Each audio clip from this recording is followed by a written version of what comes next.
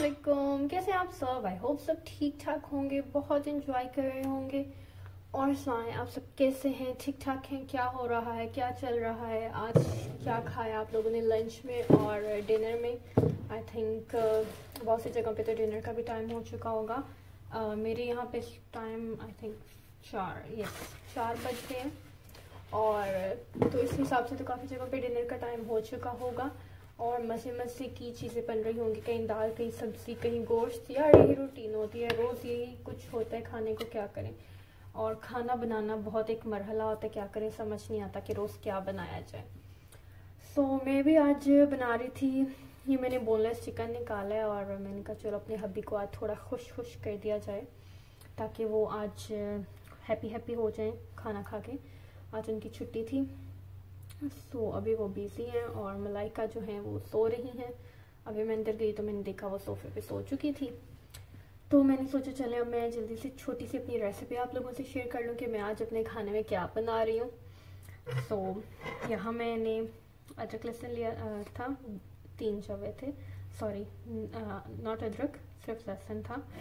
और अभी मैं लेने जा रही हूँ two tablespoon of yoghurt thick yoghurt है ये। और इसके साथ ही one teaspoon salt half teaspoon red chilli garam masala half tea spoon से कम है। और मैं जब भी गरम मसाला डालती हूँ तो उसके बाद आप ये ना सोचें कि मैं अलग से ज़ीरा, सूखा धनिया और बाकी चीज़ें, काली मिर्च वगैरह क्यों नहीं डालती? बिकॉज़ इसमें सारा कुछ ऑलरेडी ऐड है, मेरे चैनल पे वीडियो भी है। इसमें सारा कुछ है, सूखा धनिया, ज़ीरा वगैरह। हाँ ज़ीरा मैं अक्सर अलग से डालती हूँ, लेकिन बाकी इसमें सारा कुछ है, इसीलिए और कुछ अलग से डालने की ज़रूरत नहीं है। हाँ ज़ीरा मैं अक्सर डालती होती हूँ, मुझे अच्छा लगता है अलग से भी थोड़ा सा डालना। और इसके साथ ही इधर डालने जा रही हूँ मैं, ये है जी पपरिका पाउडर ये देखें, ये पपरिका पाउडर है। तो ये जाने लगा इसके अंदर। अच्छा इसकी कोई भी इतनी वो नहीं होती मिर्च। ये ज़रा कलर सा दे देता है और ये कोई चटपटा नहीं होता। है ये मैंने वन टीस्पून डाल रही हूँ। थोड़ा सा ऑलरेडी इसमें जा चुका है।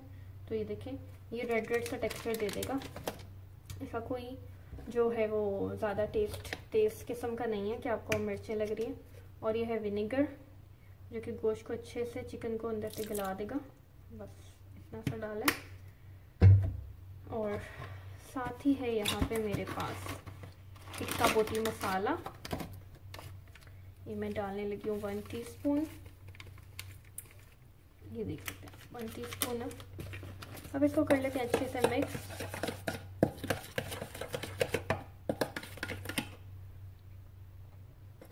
तो ये मसाला हमारा अच्छे से मिक्स हो चुका है, इसको हम टेस्ट कर सकते हैं। सिर्फ़ थोड़ा सा नमक और डालने की ज़रूरत है। बाकी सारा कुछ इसमें ठीक है। और आप लोग अपनी टेस्ट के अकॉर्डिंग भी डाल सकते हैं। कुछ इसे मिक्स कर लेते हैं दोबारा से। और जो हमारा चिकन है, उसकी कोटिंग कर देंगे अब इसके ऊपर हम। अगर आपका चिकन ज़्यादा है तो आप योगर्ट थोड़ी सी और ज़्यादा ले लीजिए। और मेरे पास ये बोनलेस था, मेरे पास हड्डी वाला गोश्त नहीं है कि जैसे पाकिस्तानी टिक्के होते हैं वैसे नो। मेरे पास ये बोनलेस है इसलिए मैं इसी की कोटिंग कर रही हूँ। ये देख लीजिए।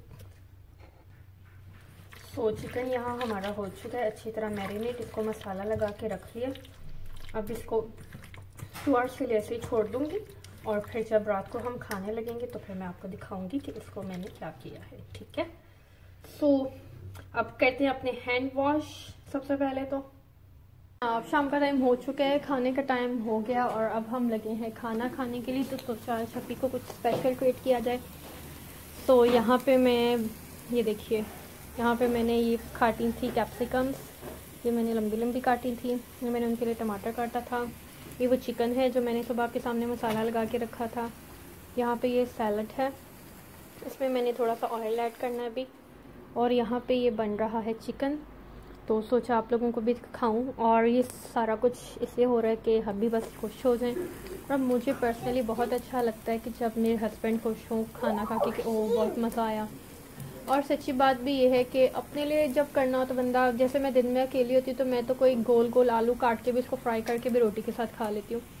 लेकिन जब इनको देना होता है तो फिर मेरा दिल चाहता है कि ये सही तरह से इंजॉय करें, अच्छे से खाना खाएँ, इनको मज़ा आए।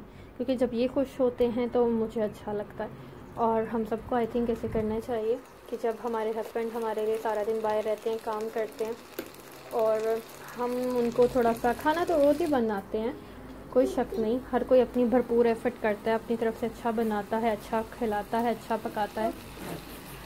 लेकिन अगर हम थोड़ा सा उसको चेंज कर दें, अगर यही मैं अंदर किचन में बना के उनके सामने प्लेट में ला के रख देती तो एक नॉर्मल चीज़ होती।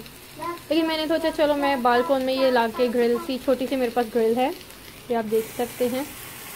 तो मैंने सोचा, इस इलेक्ट्रिक ग्रिल को मैं बालकोन में ला के रखती हूँ और ताकि वो थोड़ा सा इंजॉय करें, थोड़ा सा एटमोसफेयर चेंज हो जाए, रोज़ वही डाइनिंग टेबल पे बैठ के खाते हैं हम, या वो लेट आते हैं, हम खा चुके होते हैं तो वो सोफे पे बैठ के आराम से रिलैक्स होके खाते हैं। तो सोचा आज चलो थोड़ा सा अलग किया जाए, ताकि उनको अच्छा लगे, थोड़े से वो फ्रेश हो जाएँ। तो जी बस अभी इसकी फ़ाइनल लुक आपको दिखाते हैं जब ये रेडी हो